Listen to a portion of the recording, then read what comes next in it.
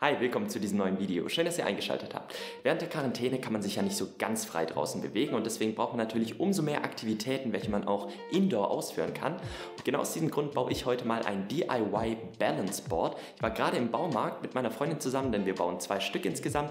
Wir haben 60 Euro für alle Materialien gezahlt, das heißt so grob 30 Euro müssen wir jetzt pro Board damit rechnen, aber inkludiert ist natürlich dann auch Lack, Schleifpapier, äh, verschiedene Farben und und und. Ich zeige euch kurz mal Stück für Stück, was wir für welche welchen Preis gekauft haben. Als erstes braucht ihr natürlich ein Brett.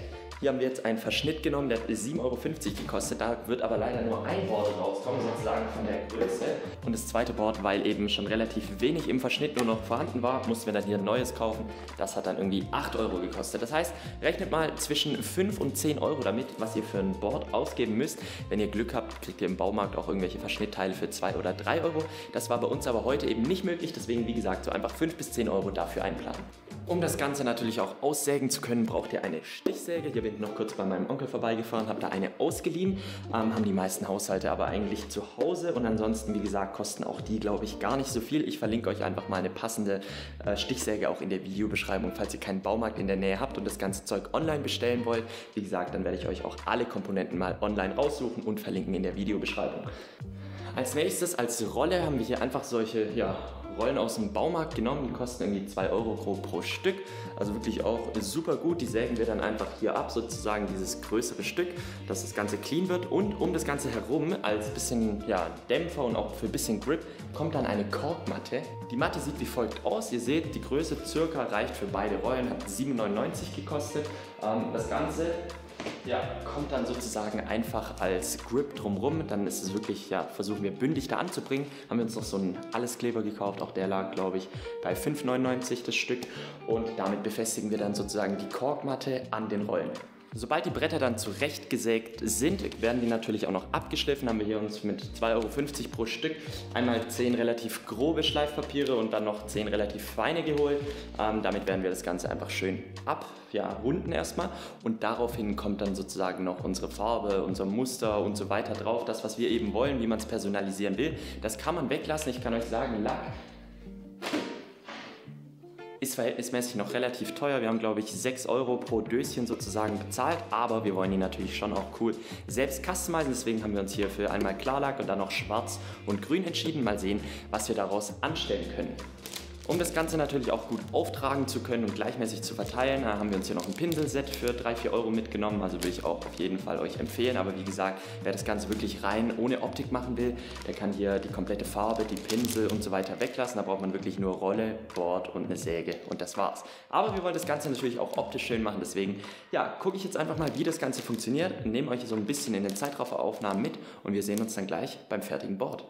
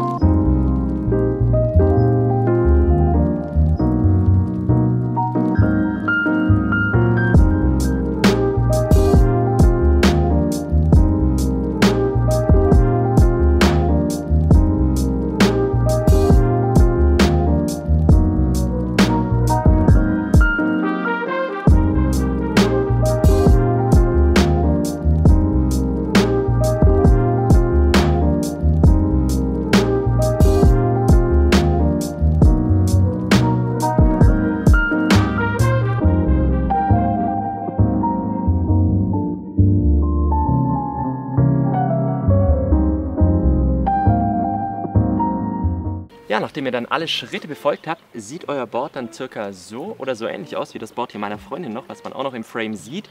Ähm, kurzer Lagebericht sozusagen zu diesem ganzen Projekt. Habe ich es mir einfacher vorgestellt, als es letztendlich war? Ja, definitiv. Ja. Es kamen schon ein paar Stolpersteine sozusagen auf dem Weg und auf die möchte ich jetzt nochmal so ein bisschen eingehen einfach und ein paar Tipps euch mitgeben, falls ihr das Ganze nachbauen wollt, auf was man achten muss. Also prinzipiell, wenn ihr anfangt mit dem Aufzeichnen, dann würde ich euch irgendwie dazu raten, downloadet euch irgendwie eine Spitze oder so, zumindest mal grob hier diesen Anhaltspunkt. Also wir hatten beispielsweise jetzt das Board eines Mitbewohners, der sowas mal vor Jahren auch gemacht hatte. Natürlich nicht so krass jetzt hier mit lackiert und so weiter.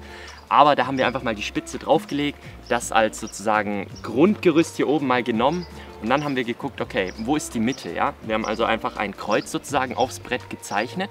Dann haben wir gesehen, okay, hier ist die Mitte. Das heißt, von hier bis hier sollte irgendwie eine Rundung entstehen. Dann habe ich einfach mit dem Bleistift ganz viele Skizzen sozusagen gemacht.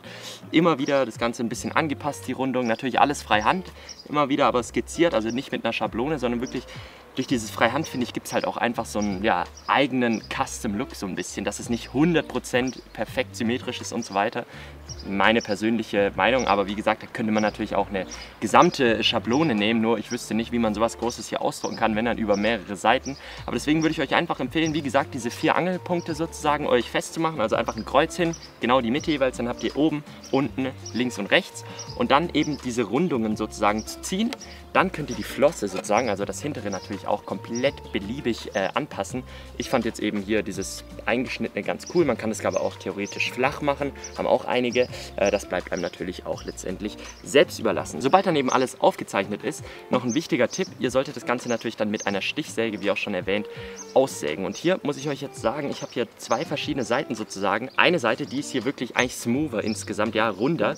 Und diese habe ich ohne Absetzen, ja, selbst wenn ich manchmal neben der Linie war, bin ich einfach weitergefahren, habe mich wieder angenähert so ein bisschen, ohne Absetzen gemacht und die ist definitiv besser geworden. Auf dieser Seite immer sobald ich irgendwie ein bisschen neben der Spur war, neben der Spur war, ähm, habe ich sozusagen direkt korrigiert und wieder versucht, weiter dort mit Gewalt so hinzupressen. Dadurch ist sie vielleicht insgesamt von der Rundung her ähm, das Nähere an dem, wie ich es haben wollte. Aber sie hat halt mehr sowieso Kanten drin. Und die Seite hier ist halt ein geschwungener Bogen, was halt irgendwie einfach nicer ist.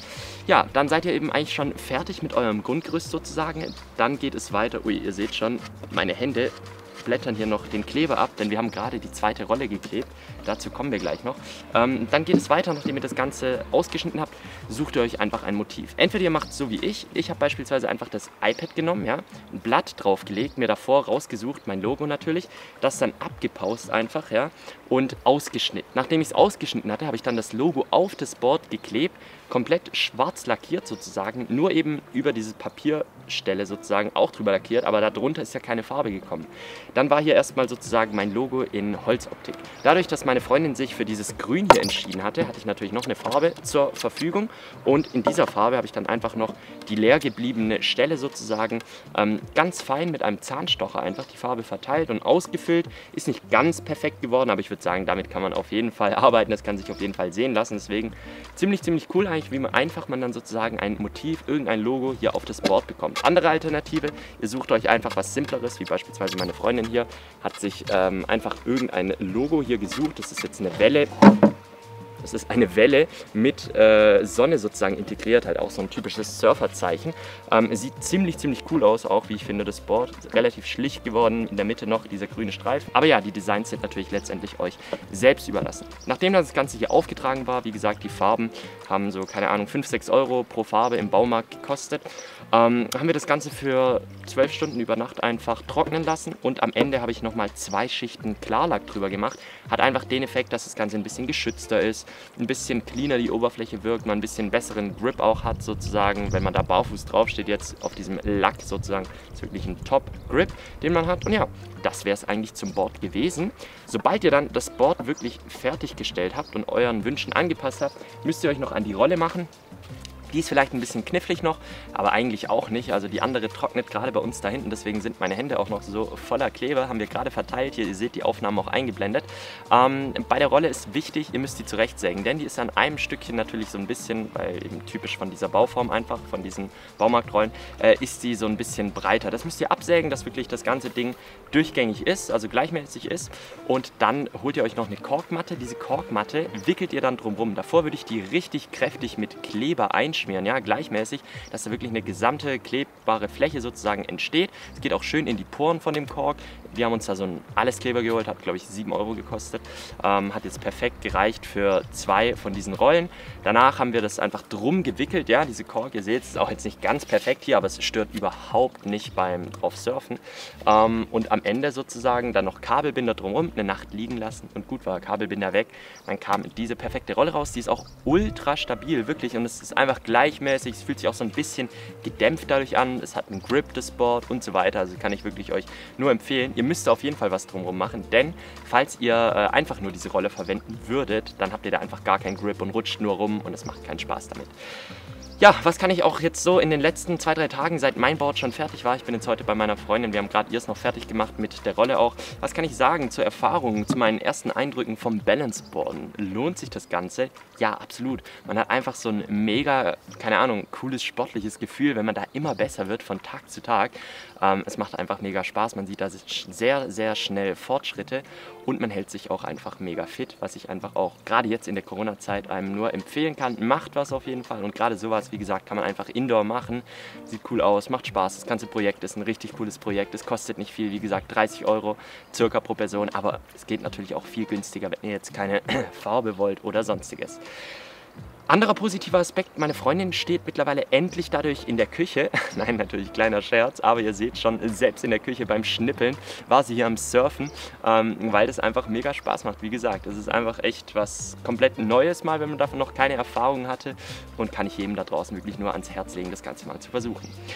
Schreibt mir gerne mal eure Meinung in die Kommentare, auch wenn dieses Video heute nichts mit dem Thema Technik zu tun hatte. Ähm, ob ihr solche Videos auch in Zukunft ab und zu mal sehen wollt, dann mache ich mich da auf jeden Fall dran. Eventuell folgt ja auch noch ein Video zur Weltkarte, wie man die DIY, also Do-It-Yourself, macht, die ich ja auch in meiner Roomtour hatte. Hatten sich einige von euch gewünscht.